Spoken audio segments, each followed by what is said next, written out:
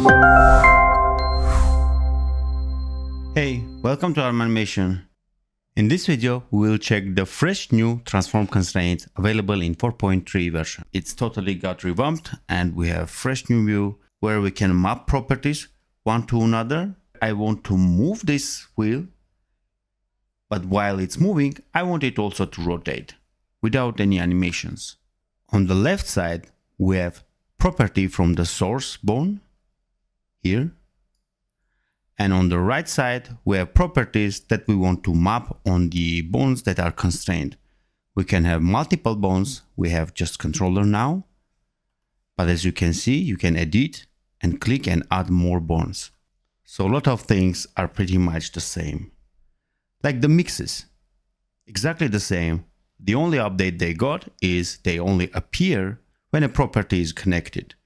If I disconnect rotation, property by clicking on right or left node, we will see that rotation row is not here anymore. And to activate it, just connect it again. You see the values here, they will pretty much map the same way, but you can change them. However, changing them doesn't mean that the values will be clumped inside this range from 0 to 100. It will go beyond the limits. To clamp them, you will need to activate this functionality, of course. This will make sure that whatever you do, for example, for scale, will always be inside 1 and 2 values. For now, I would really like to go and try a few examples. So let's put this image under the bone. Let's create another bone. This will be the one which moves. Now let's constrain this wheel to this bone. Now beauty starts. We want this bone to move with this bone, only on x-axis. Let's connect x-axis, and that's it. Now we need to set mix value, and it should move. Only x-axis, note.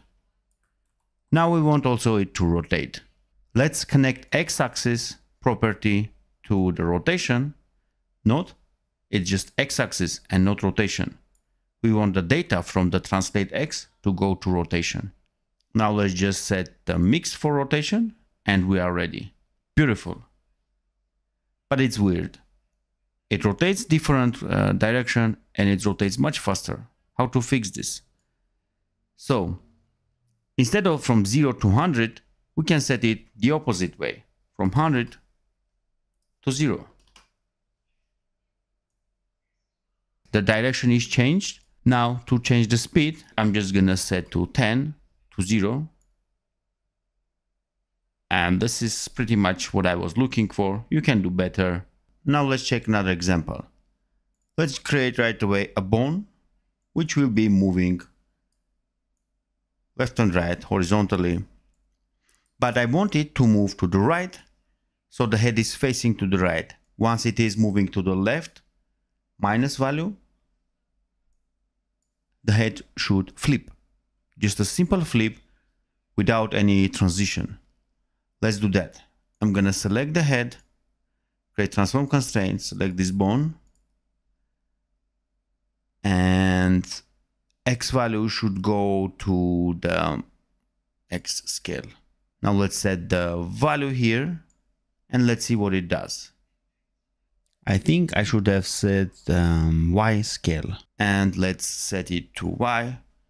See, this portion is now disabled because we don't have anything connected here. Great.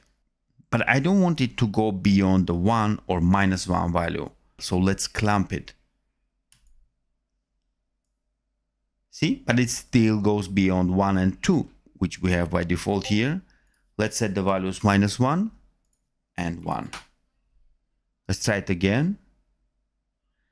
Uh, I want just a snap. I don't want to see a transition. Let's set the value uh, as low as we can set, which is this one. Great. Developer shared with me a few more cases, but I'm pretty sure we are the ones who will explore and make and find out new cases, share so we can uh, improve our workflow.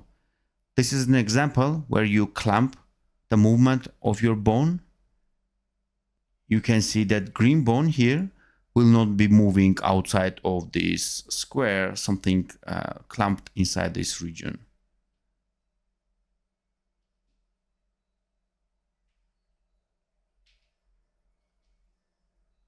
Another example is this one, which I have no idea how they made it, but we have spine and we have all the time to experiment and find out even better challenges and solutions to them.